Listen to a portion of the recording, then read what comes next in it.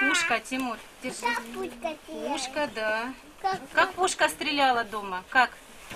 Вот так стреляли танки, да? В то, что звуки выстрелов уже в прошлом, семья Кантемировых до сих пор не может поверить. В шестером с двумя детьми и родителями они переехали сюда только в начале сентября. Вспоминают, что с родиной, с большим домом и кошкой до последнего не хотелось уезжать. Когда уже начали обстреливать наш город, наши дома, э, нашу одну квартиру полностью стекла повыпадали, там разрушили дома, участок. Когда муж сидел на работе, возле него летали снаряды.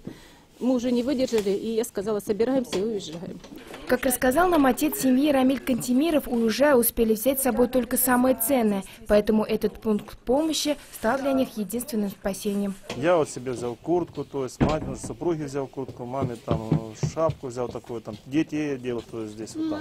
За две недели на место сбора принесли уже десятки курток и пар обуви, но особенно здесь ждут вещи первой необходимости. Есть многие э, мамы, которые поприезжали сами с детьми. Дети маленькие, у них нет возможности работать. И мы оказываем помощь. Вот, детское пита- питание очень нужно, и памперсы, и медикаменты, потому что сейчас холодно, дети начинают болеть. Здравствуйте.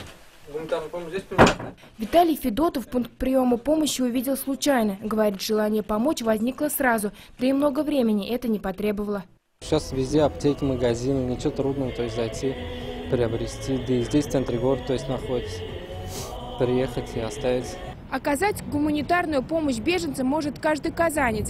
Как сообщили нам в пункте приема, сейчас больше всего не хватает медикаментов и средств личной гигиены. Все это можно приносить ежедневно с 11 до 6 по адресу Луковского, 14. Человек, лишившись все, должен получить какую-то помощь от кого-то.